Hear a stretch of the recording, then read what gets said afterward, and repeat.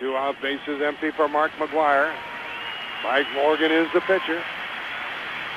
Here it comes to McGwire. Swing! Look at there! Look at there! Look at there! McGwire's number 61. McGwire's flight 61 headed for Planet Maris. Home run McGwire. 61. History. Bedlam. What a moment. Shaking hands with the third baseman of the Cubs. Pardon me while I stand up and applaud. Mark McGwire picks up his son Matt. Points to the fans. Points to the police on the field. Greeted by his teammates. What a, what a, what a Cardinal moment this is. What a baseball moment this is.